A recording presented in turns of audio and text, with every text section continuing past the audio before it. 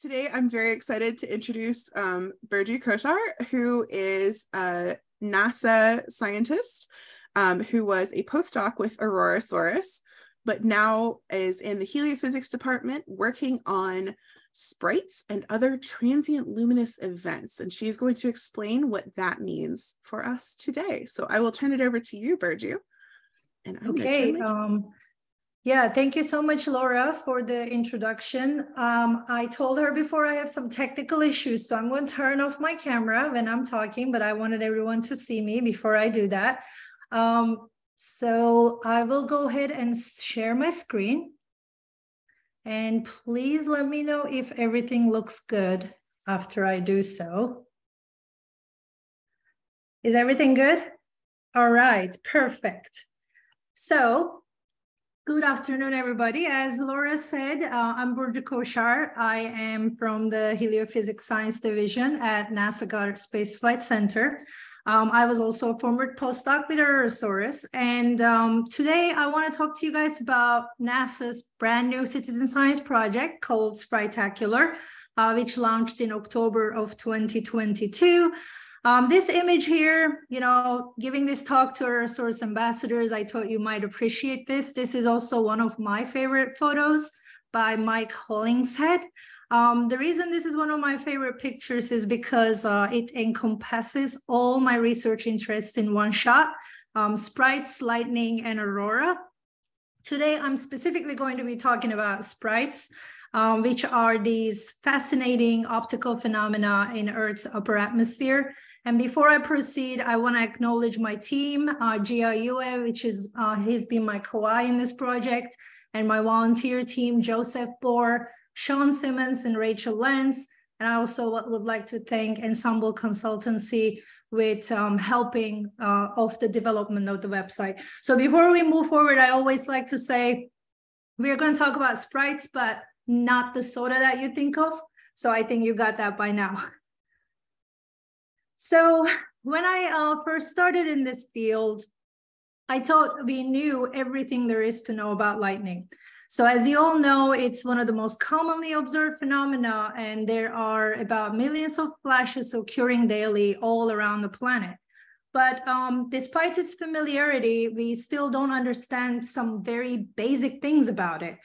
First question that comes to mind is, how do thunderstorms charge up? Well, uh, we know quite a bit about it. Um, we know it got something to do with water droplets bumping into ice crystals. And um, however, the charging, the details, the microphysics of this charging of the thunderclouds is still somewhat unclear.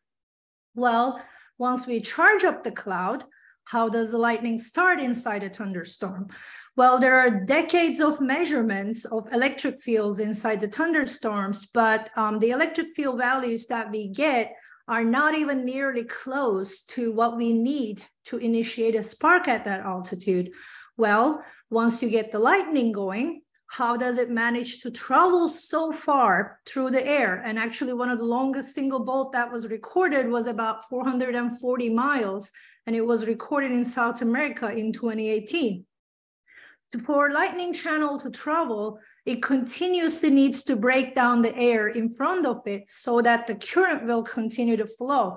We all know that air is an insulator. To be able to uh, pretty much make the electrical current flow, we need to convert an insulating material into a conductor. I mean, this sounds like a pretty neat trick. How does it actually manage to do that? And the last question in lightning research is, what the heck was that? So the more and more we study lightning, we keep uh, coming across this new phenomena that we don't know. The prime example of what the heck was that is this. Um, I hope some of you in the audience actually recognize this. This is a spectacular image of Sprite uh, showing amazing detail. This was taken by Nicolas Escurat from France over Gulf of Lyon in September 2, 2022. Um, so sprites occur about thunderstorm systems at an altitude of about, about 90 kilometer, I would say, and they're occurring right at the edge of space. They are large scale electrical discharges And the event that you see here is actually quite large. So their lateral extent tends to be about five to 10 kilometer and their vertical extent up and down is about 50 kilometers. So the atmospheric volume that is electrically and chemically affected by these events are thousands of cubic kilometers. So the question is, how on earth we missed something this big until recently? It actually seems like we missed quite a bit. Sprites are just one of many um, the region of space above the troposphere, the altitude range of 20 to 100 kilometer is sort of like an electrical zoo that is powered by the thunderstorm systems below. So due to their transient nature, lasting almost like a fraction of a second, we collectively refer to these events as transient luminous events. The word luminous comes from the fact that they all emit light, even though they're in different colors. This word luminous comes from them, transient because they're very fast. So that's why we collectively refer to them as transient luminous events. Um, as you can see here, they all have different morphologies, meaning that they all look different. They all have different time and spatial scales, and their physical mechanisms are different. But one thing that is common for all is they are connected to the electrical activity in the troposphere, in the thundercloud altitude. So to highlight a few, there are gigantic jets and blue jets, which initiate from the cloud tops and propagate outward. Gigantic jets actually are these massive electrical bridges. They connect the tops of the thunderstorms all the way to the ionosphere. Blue jets sort of terminate at an altitude 40, 50 kilometer, and that's how we kind of distinguish the two.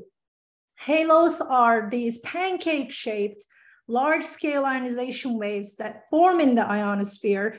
They usually propagate downward and they are kind of mostly preceded by an ELF, which is another wave of ionization that expands at the base of the ionosphere radially outward. They are very, very fast and they are um, they happen because of the electromagnetic pulses coming from the lightning flashes. So this ELF halo sprite, they can usually happen in sequentially in consequence. So what I mean is sometimes when you're trying to image sprites, you might have a halo in the image, or you might actually see an ELF expanding prior to seeing the sprite event. So talking of sprites, sprites are bidirectional. They usually start downward motion, ball of light descending downward. And then from the core, we have negative streamers shooting upwards. So if you were to look at a high speed video, which I'm gonna show you guys uh, pretty soon, they almost look like fireworks. And that that's kind of what got me hooked up in this field to begin with. So to show you guys a few examples, um, there was this one footage released by the Gemini Observatory that is uh, located in Mauna Kea in Hawaii. And they released this footage to show an example gigantic jet. However, I got this footage and I looked into it and I went through it frame by frame. But and I and I identified not only one jet, almost three jets and multiple sprites, and the gravity waves were also visible. I wanted to kind of go through with this with you so we can take a look at them. You guys can see thunderstorms appearing here close to the horizon of the observatory. And you guys can see lightning flashes. Do you see my cursor? I yes, don't. Oh, okay. Maybe some people do. Um, you also, uh, after this, you do have a question or two in the chat. And okay. um, if that's okay with you to, uh, to pause. Oh, but okay. yeah, sure. It's awesome. Thank you. Yeah, sounds good. Is it okay if I answer the questions at the end? Yeah, that's totally fine. Okay, perfect. So, all right. So I think this video is right now. This is the gigantic jet that they actually showed from this footage, but you guys can see these very faint ripples in the air glow layer and a very faint sprite that appeared and disappeared here and another gigantic jet shortly after the first one. There is another sprite here in the corner and then another sprite right next to it with actually a halo on top. And I think the last one is going to be another jet. Uh, this is kind of uh, hidden behind the clouds, but I'm assuming that's another jet. So I'm just gonna let this play, but what I wanna mention is usually people overlook these events. When you capture a footage, looking through it frame by frame and trying to identify these events are so important because they're so fast, you can easily miss a lot of them. So this was the image that they released, but there are many, many uh, TLEs actually observed in this 53 second. I accelerated this. This was a 53 second footage. All right, I will move on to the next one. So um, as we talked about it earlier, uh, lightning is one of the most commonly observed phenomena. Uh, I would say there are more than 2,000 active storms throughout the world, and they produce on the order of 100 flashes per second. Um, so the global occurrence rate of TLEs is estimated to be about one per minute, and they have been detected over land and oceans, and they have been seen in Europe. They've been observed from North and South America, Asia, and they have been observed over winter storms in Japan, Australian continent, covering most parts of the globe. So if we look at the here on the uh, plot on the right, we are looking at the um, occurrence rate of some of the major TLEs. Um, so these events were recorded uh, by ISUAL instrument on board the Formosat 2 satellite that operated between 2004 and 2010. Um, as you guys can see, TLEs are mainly occurring between 40 north and south latitudes. And the most frequently observed type is ELFs. And uh, gigantic jets, as you guys, you guys can see in plot D here, they are pretty rare. And uh, sprite and halo occurrence rates are pretty close together. This kind of signifies that, as I mentioned, they are usually accompanying sprites. So that sort of explains why they are their occurrence rates are uh, pretty similar.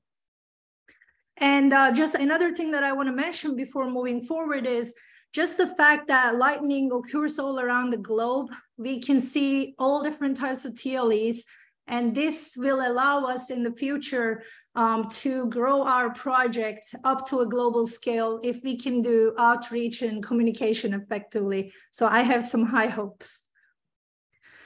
So um, so there has been many eyewitness reports of TLEs and sprites, I would say going back to a century.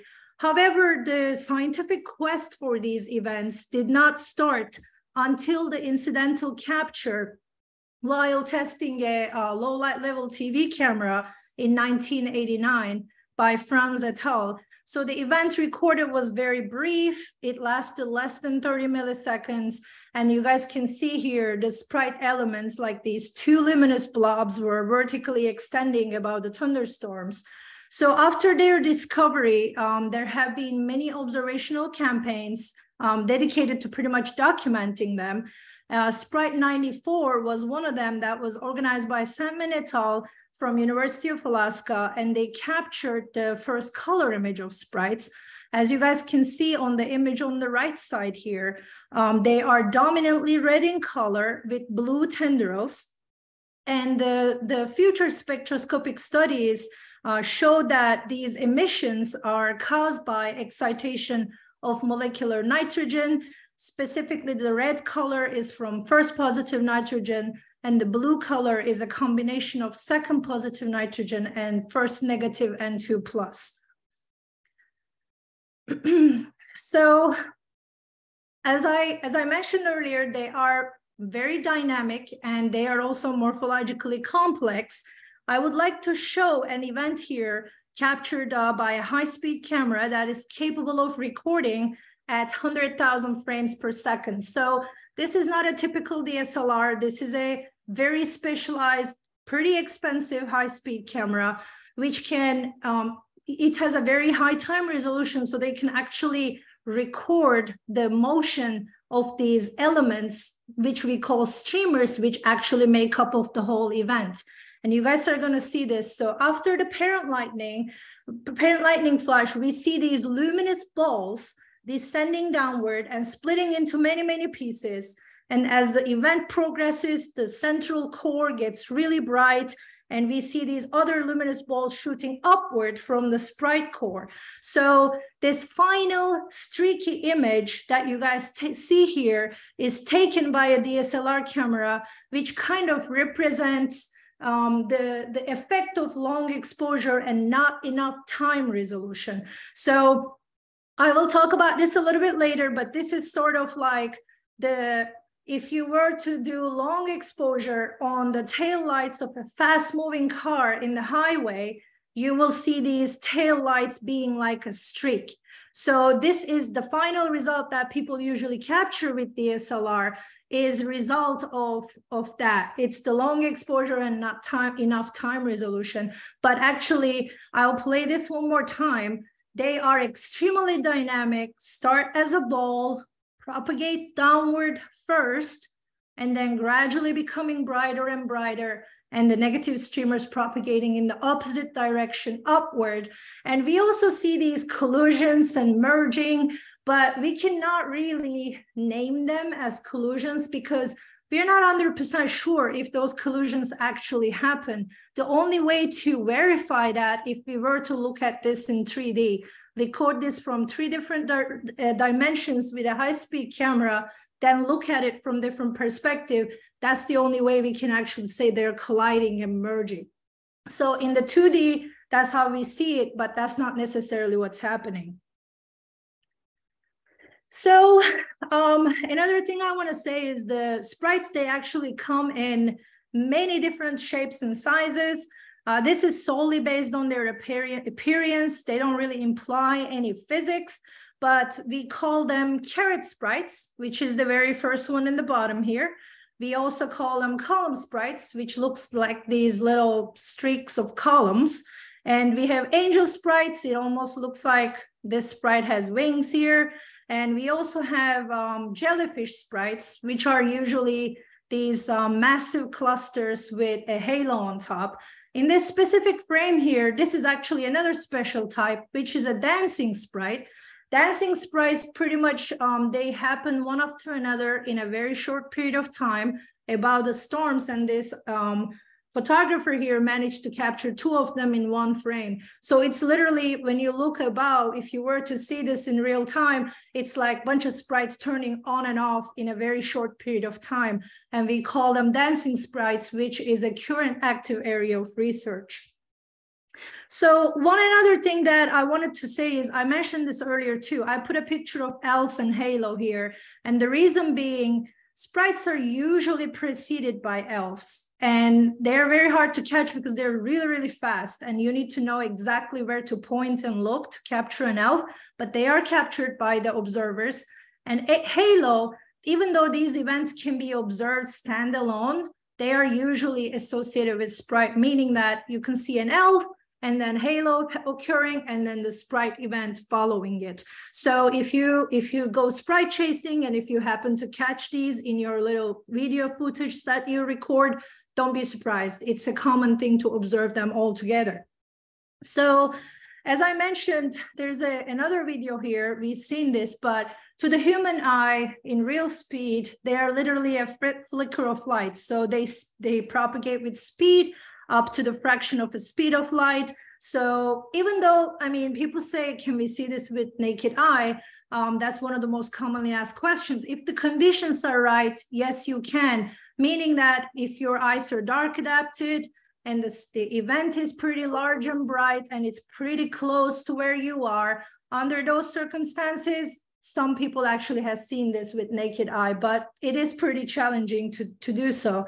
So if you want to capture them, as I mentioned earlier, the home for this phenomena is the mesosphere. So you're looking up about the storms if you were to photograph these events. So one thing that you want to do is you want to actively monitor the radar, pretty much look at active large scale thunderstorm systems around you. So remember that the storm, to, for you to be able to see TLEs or sprites, the storm does not have to be very close to where you are.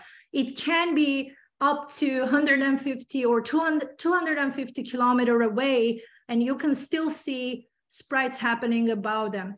So if the storm is close or overhead, it's not good for two reasons. Number one is if the storm is in your vicinity, because these events are produced by very powerful positive CGs, th those are the ones that shake your uh, shelves or your glassware in your house. So those are the ones that usually create these events. You don't want to be anywhere near them. So it is, you need to be in a safe distance. If you hear the thunder, you, you just need to go inside. It's too late to take a look at them. And if the storm is overhead, you know, because your view of about the storm is obscured, you're not going to see them anyway. So the, the best way to look at them is the storm is either below your horizon or it's pretty far away. You just see this diffuse glow from the lightning flashes is a prime place to be if you want to go sprite chasing you're able to capture them with a typical off-the-shelf DSLR camera uh, that is capable of recording 24 to up to sometimes 30 frames per second. Usually the way people view them is when you, if you have a chance to see the storm flickering, if you see many, many flashes, you can just look off the distance on the right or left side of where those flashes are and point your camera and start getting little footages. People usually, those fascinating images they post are either ripped off of a video or when they see a lot of flashing in a storm, they set their camera in burst mode and they capture a lot of pictures all at once and they sift through them to see if they captured anything. So taking images of sprites is not like pointing your camera to a tree and just taking a snapshot because these are very fast events they people usually either do burst mode or they record a little footage like i showed you from that gemini cloud camera and then you go through that footage frame by frame to see if you actually captured anything so um, I want to talk a little bit about the physical mechanism of sprites. So, um, we, so what really actually powers them? So in the past, the possible occurrence of these large-scale discharges in the mesosphere, um, currently the, the events that we refer to as sprites was um, theoretically anticipated by a Nobel Prize winner, C.T.R. Wilson in 1925. So he first recognized that the, the electric field due to thundercloud charges decreases with altitude as 1 over r cube, which is this solid line on the left plot here. On the other hand, he realized that the conventional breakdown threshold field, which is shown with EK here, decreases more rapidly due to its proportionality to the exponentially decreasing air density with altitude, which is shown by the dashed line here. As you can see, these two lines intersect at about 75 kilometer. So about that intersection point is the region where electric field due to thundercloud charges exceeds the conventional breakdown threshold field, which is the field required to create a spark. And that's the altitude where we today see sprites the most. The most common initiation altitude is 75 kilometers and up. This was theoretically anticipated in 1925. However, this field did not start still until 1985. Sorry, 1989. I'm going to correct that. So um, I've been talking about different types of lightning flashes and what causes sprites. I want to talk a little bit about that here. So not any lightning discharge will actually lead to formation of sprites. When you look at those thunderstorms, all of those flickering flashes in the center of the storm are typically negative cloud to ground discharges. As I mentioned earlier, the ones that are capable of producing sprites are the positive type, which are much more powerful and they are much rarer than the negative cloud to ground discharges. So when I say positive and negative, uh, we look at pretty much very simplified figure of the charge distribution inside a cloud. So most thunderstorms pretty much have a bipolar charge distribution. They have a main negative layer and a main positive layer and majority of cloud to ground discharges, as I mentioned, carry this negative charge from cloud to ground. And very few of them, less than 10% of them actually carry the positive charge from cloud to ground. So I'm repeating, I'm repeating myself, I know, but sprites are specifically caused by positive CG lightning discharges that are more powerful than negative CGs. So we need the right ingredient. so how does this really happen? So when the lightning flash pretty much transfer this positive charge to the ground, the air above the clouds will feel this change pretty much it results in an electric field pointing downward. It, causes a voltage difference in the upper atmosphere. So this voltage difference is pretty much the primary reason for initiation of sprites.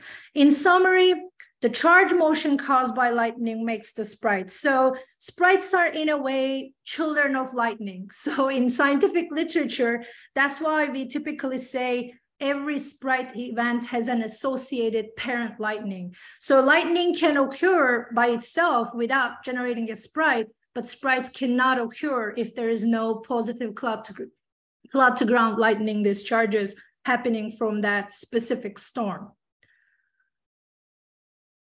And we also talk about this early earlier. Um, sprites, as I mentioned, they propagate with very fast speeds, uh, fraction of the speed of light. So in a regular TV camera, um, the frame rate is about 33 um, milliseconds. So if you were to capture sprites with that, the image on the top left here is what you would get, this streaky look of sprites, the just long streaks. However, as you go down in exposure time, you see that sprites are actually composed of very fast propagating balls of light. In the 0.05 millisecond picture here, you can see that those balls are actually descending downward and you don't have that streaky effect as much. Um, so if you pretty much the, the effect that we are seeing here, the, the streak effect is pretty much the same thing as I mentioned that you would get if you capture the tail lights of a fast moving car on a highway with a long exposure.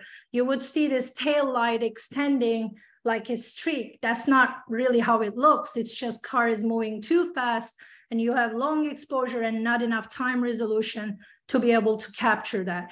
So there is also laboratory streamers that we can generate in, in, in the ground and um, they are also imaged, but they propagate much faster in nanosecond scales.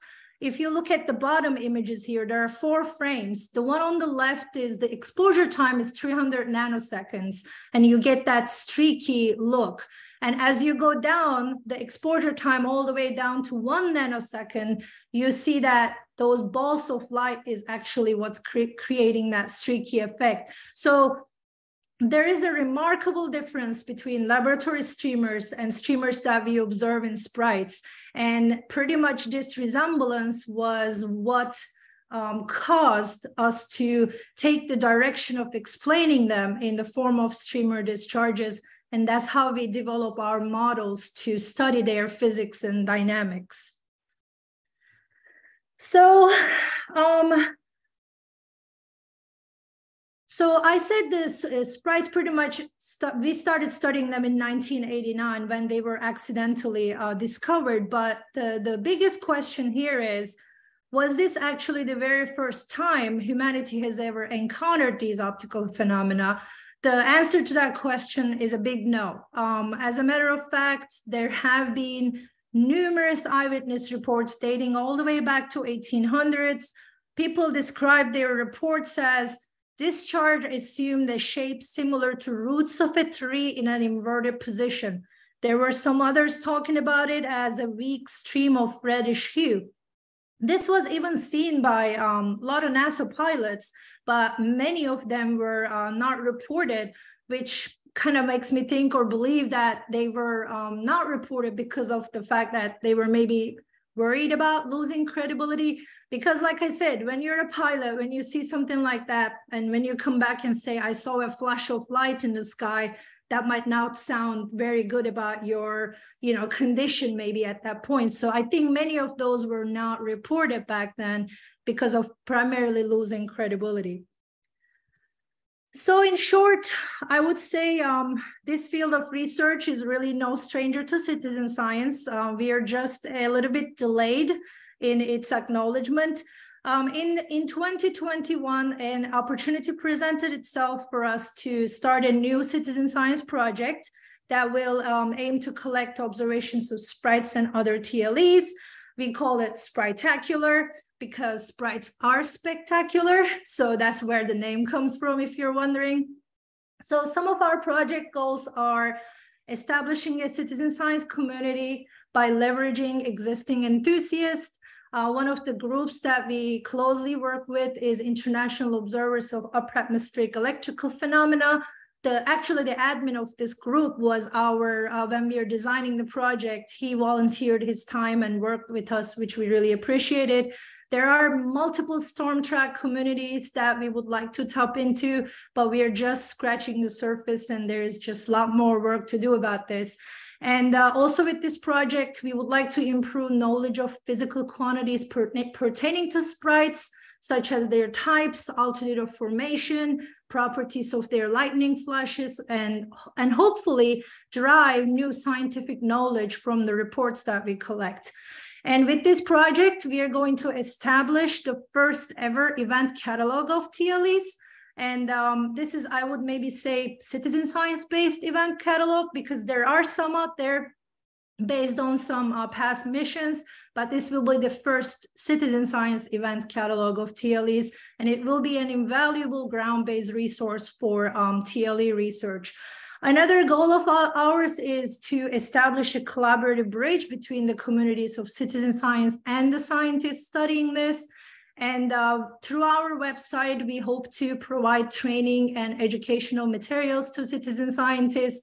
And hopefully this might be a little far stretch, but providing support to planetary missions. Some of you might know uh, sprites are actually recently observed in the Jupiter's atmosphere by Juno mission. Of course, this is artist conception here. This is not necessarily how they look, but this is just a kind of how they imagined it would. But um, they are observed in other planetary atmospheres. So here is our project landing page, uh, which you can find at spritacular.org. Currently, we have 234 volunteers, 116 observations from uh, 11 different countries. The website has a streamlined observation upload experience. We allow users to choose uh, appropriate type for their observations, and this allows us to curate a labeled database that we will uh, use for AI and machine learning studies in the future. As a matter of fact, we have uh, one research that we are doing with University of Puerto Rico through the EPSCoR program.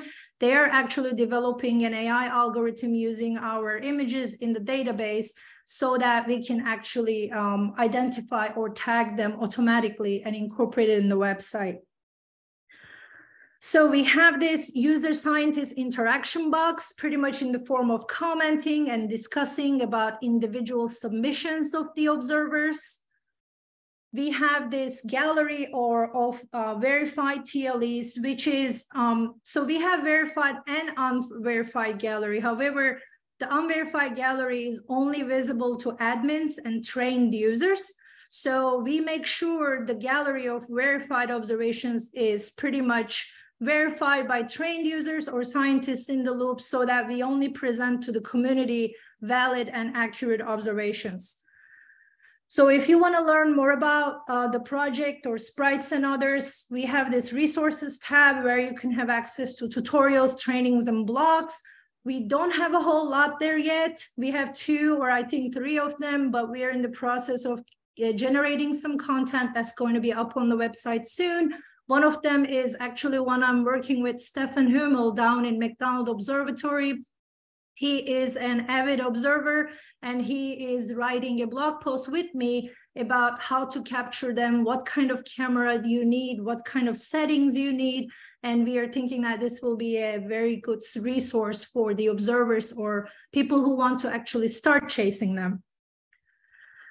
However, um, I specifically wanted to talk about this um, training system that we implemented. Um, so this training system is pretty much when you become a user, you take this training and if you pass it with a certain threshold, your status is being upgraded to a super user. And these profiles are able to see our unverified gallery so that they can help with the verification pipeline because right now this sort of falls on myself and my co-I. Uh, we are usually sifting through them and verifying them. However, uh, these users who are trained to do so help us verify them, which is actually very, very good. And this verification system is not only um, providing education to people, this is also giving alternative activity to non-observers because not everybody who becomes a member on our website not necessarily has a DSLR or know how to observe them, but they want to learn about sprites. So actually taking this little quiz that we have on the website and passing it is a great way to, to do so. Um, so before we launched the project um, back in 2022, we created with the help of Heliophysics division, we created many educational and promotional materials for Spritacular. So I am proud to say that I actually chased sprites with Paul Smith down in Oklahoma in 2021. It was an amazing experience. Um, the we have a documentary that came out of it, um, which was released pretty much a year after in October 2022, which is called Chasing Sprites. You guys can, um, I, I put a little barcode here or QR code. If you guys point your camera, you can have a you can have a direct access to a blog post where I put links to all of these things that I put a snapshot here. So don't try to write anything down. You can access all of them with click of your mouse pretty much. So um, that documentary was also accompanied by a very educational blog post written by Lina Tran. Uh, if you have interest learning more about it, please feel free to watch the documentary and read the blog post. They are very, very well done. And I am very thankful to be working with Joy and Lina on this. Um, so kind of, um, we, we, another thing that we did is during Halloween, because this project promotion came to end of October, and for October 31st, being inspired by the spooky names of these TLEs being pixies and you know sprites and jets and all that, uh, they said maybe we can do a Q&A um, kind of during Halloween time, Halloween time. So we did a we did a Q&A, and that's also here like I said, you can access all of this through the QR code. And in that Q&A, maybe I might have answered some of your burning questions, which I'll get to after this presentation pretty shortly. And another thing that was really near and dear to me was we gathered little footages from um, very expert chasers that are in the international observer community they recorded a little clip of themselves getting prepared and going chasing and talking about why they do it and how they do it. So we have a collection of that. We created a little mini documentary, I would say, about sprite chasers. And I think this turned out really good. And that was also released as a part of the promotional campaign. And we also incorporated the word sprite to the Goddard glossary. And uh, this is also a YouTube short that explains sprite briefly in about a couple of minutes. If you have interest in learning more about all those, go to the blog post and click on the links and look through them. This has been an exciting opportunity to form opportunity for me to exercise pretty much scientific communication and outreach. So I did my best and I hope you enjoy viewing them. So um, even though we only have 116 reports, there's already uh, some really interesting observations in our collection, scientific community that already picked up. So there are a couple of ongoing research efforts that actually utilize the Spritacular database. So the first one is this green emissions of sprites, meaning that citizen scientists uh, often observe this green emission at sprite tops after the whole event has decayed. Um, this is currently a very hot topic that is uh, picked up by various research groups in Europe and US. Um, we presented our initial work at this uh, AGU fall meeting in December. Uh, we pretty much in this study focused on the intensity and time dynamics of this green emission. And the initial modeling results uh, of this study pretty much showed agreement that uh, with the assumption pretty much coming from the citizen scientists that this emission is primarily due to the forbidden transition of 5577 atomic oxygen.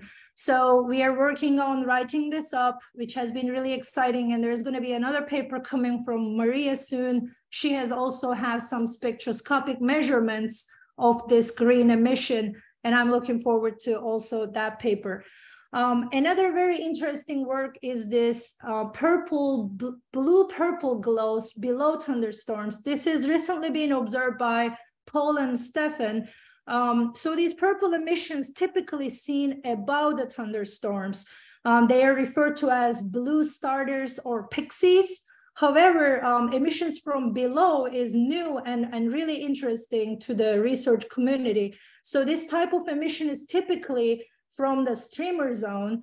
Um, therefore, it might actually be a signature of this failed streamer zone in a sense that it did not uh, convert into a leader and the channel did not extend out of, the out of the cloud. So that's one assumption, but this is another very interesting thing that's uh, sort of being studied now, but we want to get into that a little bit more. Um, another research that we are doing right now is citizen scientists uh, very frequently concurrently capture sprites with atmospheric gravity waves. You guys can see there is six great examples of this here. These banded structures, I think it's very, very visible in the last like bottom two to bottom right corner. You guys can see these green and black kind of banded structure in the air glow layer. That is pretty much signature of uh, upper atmospheric uh, gravity waves. And in sprite literature, uh, people have been long speculating that uh, gravity waves can actually be seeding sprite initiation in undervoltage conditions since the uh, lightning electric field at that altitude is not enough to initiate the sprite. So there should be something seeding this initiation. So the, these, since these concurrent captures are pretty rare, uh, the, the studies in the, in the literature is very kind of limited. So therefore we, we, don't, we do not really understand. The case studies are very, very scarce. But this wealth of observations from citizen scientists will allow us to further this work. And, and I'm super excited about it. This is a follow-up funding that we got to the Spritacular Citizen Science Project, and we are already working on this and hoping to launch a campaign actually for multi-point observations for altitude triangulations. So as we showed here, um, citizen scientists are actually making significant ground-based observations that can um, help advance our scientific studies in the field of um, TLE. So I'm super, super excited about this. And um, I would like to thank our volunteer team and the developer team for their dedicated efforts. I would like to thank Liz and Laura from Aurorasaurus that you know they advised us when we are developing the projects and that project and i can't be more thankful. Um, and i appreciate your time. Thank you for listening. If i talk too much i'm sorry but i will get to all of your questions. And we also have a twitter account. You guys can if you if you want to follow us you can scan the qr code and that will also take you to the page. But um, thank you for your time Thank you so much, Burcu. Fantastic. Fantastic. awesome. have a Thank lot so of much. great questions because we're all very excited about this also. Um, does anybody so, want to jump in? Yeah, please feel free. I stopped sharing, but um, I will turn on maybe my camera now. Let me see. Okay, cool. So here I am. All right. So how do you guys want me to do this? Do you want me to go through the questions there or Laura, would you like to ask them or people who are curious want to speak up and ask? I'm fine either way. I can go through the questions, but if folks want to um, ask their own questions, please feel free. Um, let's see here. I see a question from Chandrash. Uh, do you want to ask your own question or should I do it?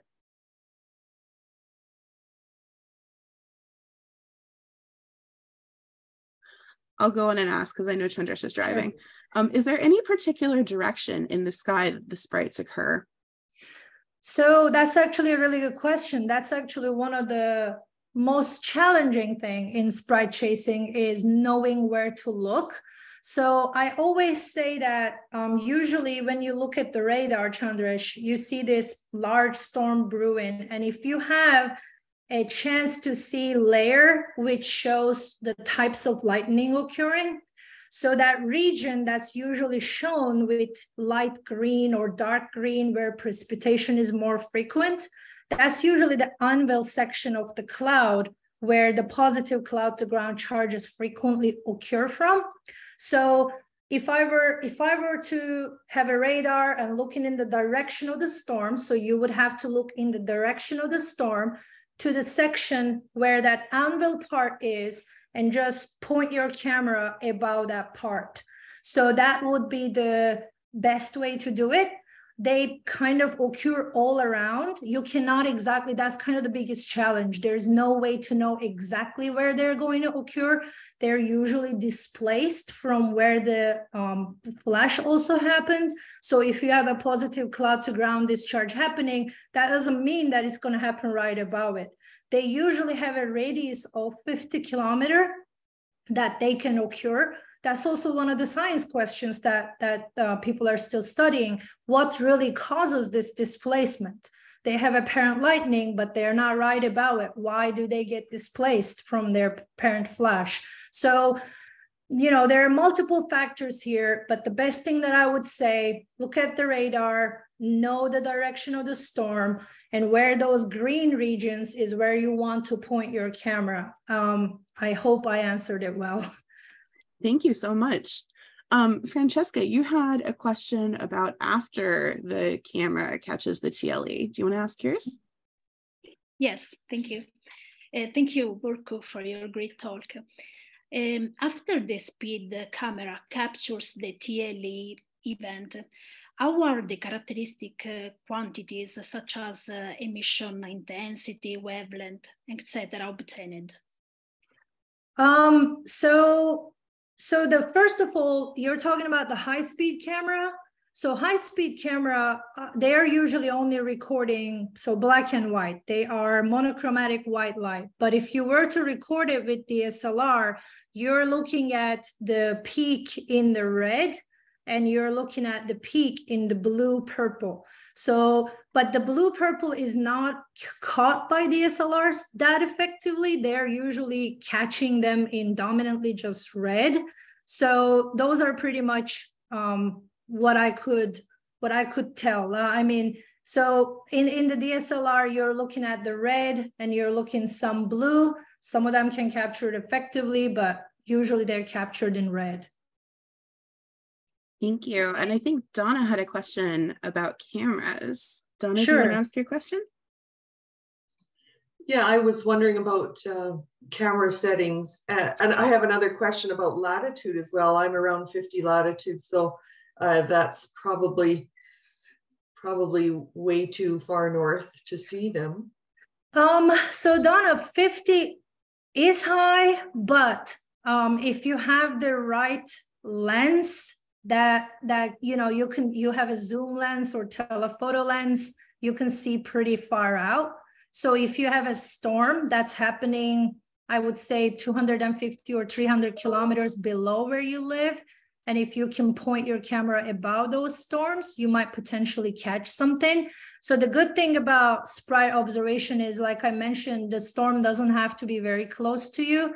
So if you point south I would say up from 50. If you have something in the vicinity, you might get lucky with something. But yeah, 50 is pretty high, and observations from that altitude is pretty rare. But I would say not never. I have seen a few. Uh, you might you might want to try your chance. But the settings wise, I have never captured one myself. I would say so I'm not the perfect person to talk about camera. So that's why I am working on this with a camera expert to kind of get the details on this out in a blog post. Um, I would be maybe, I would, I don't want to give you any misinformation. So I would say maybe look out for that blog post that we're working on, which will clearly outline some of the necessary settings to capture it.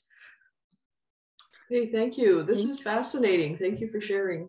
Of course. Yeah. Thank you for participating. I appreciate it.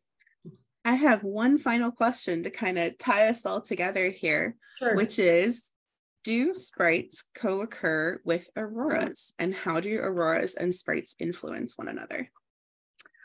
Okay, that is a very good question. So I would say, so the co-occurrences aurora is typically about 100 kilometers and up. Mhm. So auroras occur in the higher up in the ionosphere and the particles come from the magnetosphere into the ionosphere, interact with the particles and create that emission of light.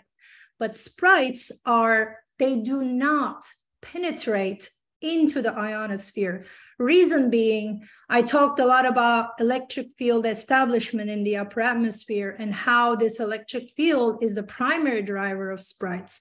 So when you go into the ionosphere, this electric field relaxes very fast. So that time scale is so short that sprites cannot happen about the 100 kilometer altitude because electric field will relax so fast that breakdown cannot happen.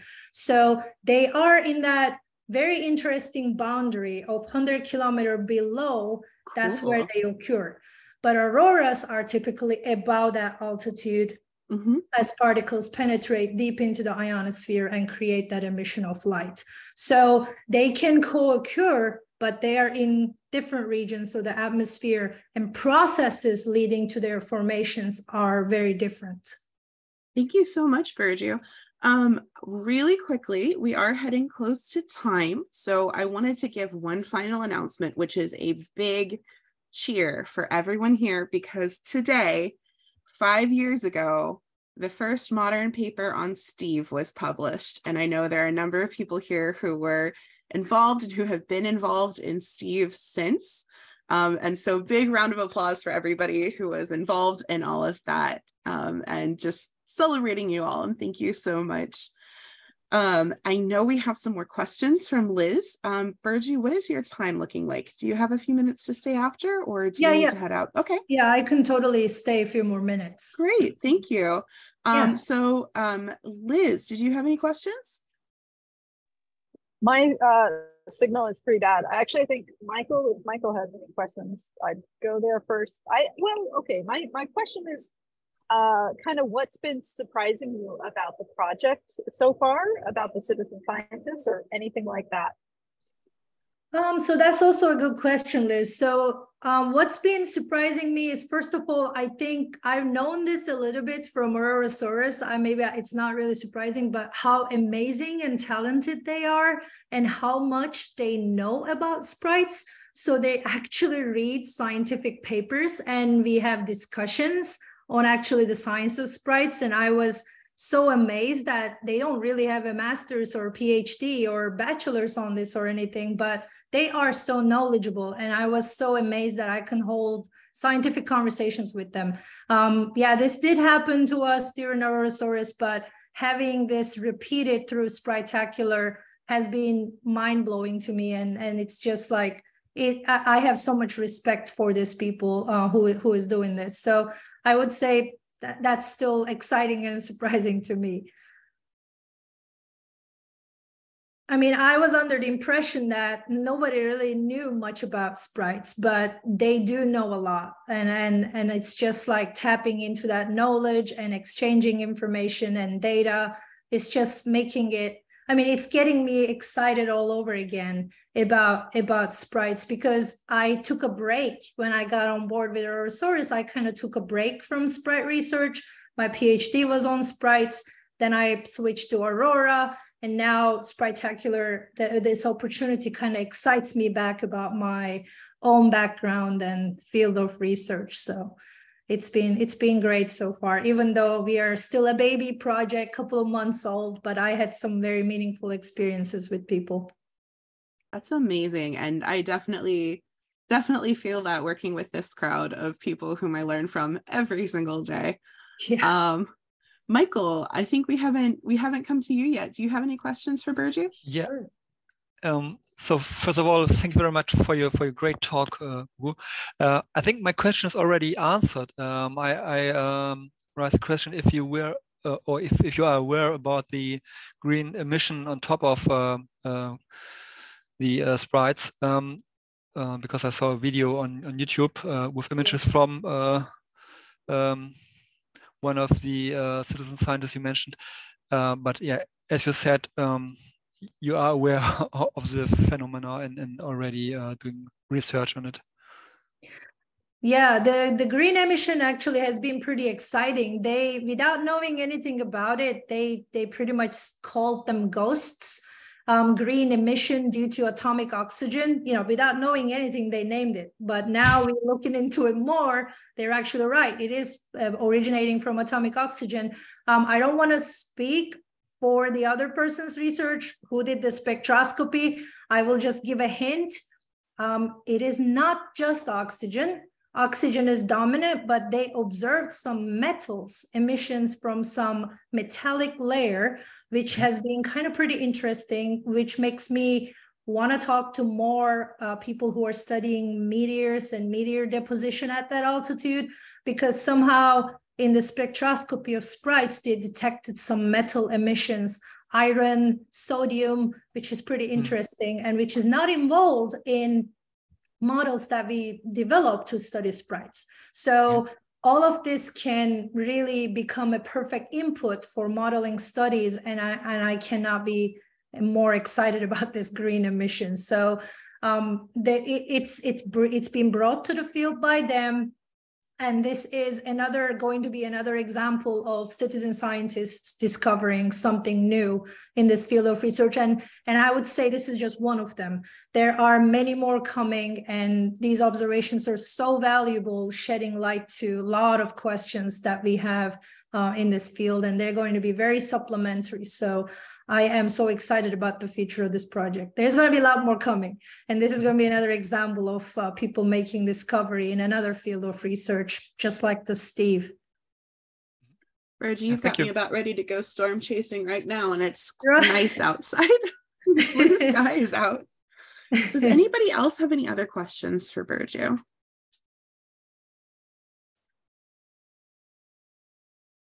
And um, also feel free to email me if if you have something coming up later on. Uh, I will put my email here in the chat. I will answer as much as I can. Um, just you know, feel free to reach out to me if you have questions about anything or if you want to be notified you know i can try to tell you guys when we put that blog post about how to actually capture them necessary camera settings and all that. So please feel free to reach out if you want any information about anything. So i'll do my best to help out. And please do keep us posted on that as well, Burcu. We'll put it out to everybody.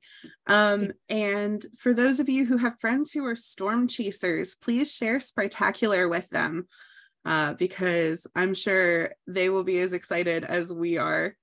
Um, Liz sends her apologies as well. Her car, her uh, call dropped um, as oh, she's driving no. through uh, through a service uh, tunnel. So um, no problem. thank you so much, Burcu. I'm gonna go yeah, on. Yeah, I mean, oh, go ahead. Yeah, thank you so much for having me and listening what I have to say. And like I said, if you guys want to talk about anything, sprites and TLEs, I'm here to help you guys out or elaborate anything further. But thank you. It's been it's been a joy for me to speak with you guys and thanks for your patience and listening to me. Thank you, Burcu.